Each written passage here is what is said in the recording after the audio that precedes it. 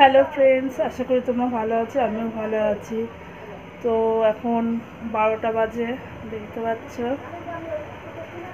তো বারোটা বাজতে গেছে, তো এখন আমার ব্লগটা আমি শুরু করছি। তো চলো, আমি আজকে কী কী রান্না করেছি সেটাই তোমার সঙ্গে শেয়ার করব এটা হচ্ছে লাল শাক। আমাদের জমির লাল শাক হয়েছে।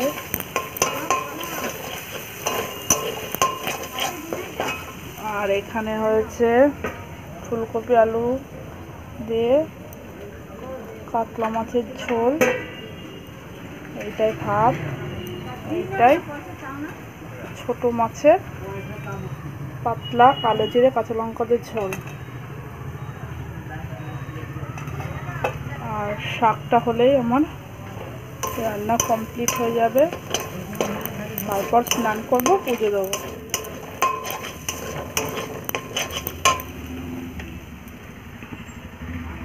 আমি রান্না করা সত্ত্বেও আমার ভাসুর, যে মেজে ভাসুর, সে অলরেডি দুটো তরকারি করছে, সেটা হচ্ছে একটা পালং শাক আর একটা হচ্ছে ধনে পাতার চাটনি।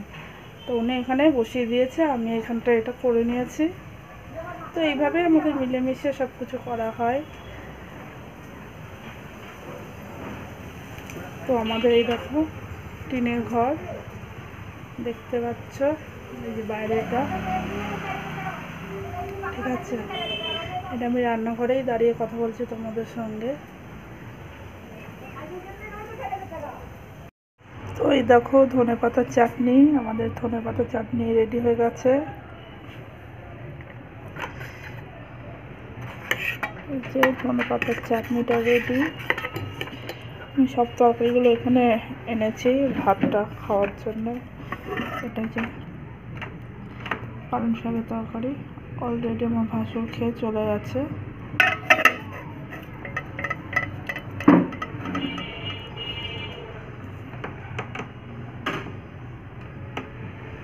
তো খাওয়া দাওয়া কমপ্লিট হয়ে গেছে, তো আমরা এখন এই যে ঠাকুরঘরের সামনে দাঁড়িয়ে আছি। তো এইভাবে আমাদের খাওয়া দাওয়া হয়, এটা আমাদের বাড়ি।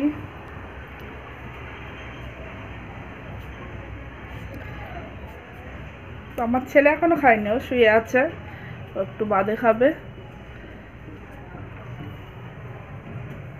তো চলো, আমি ভিডিওটা এখানেই রাখছি, যদি ভালো লাগে লাইক কমেন্ট শেয়ার করো।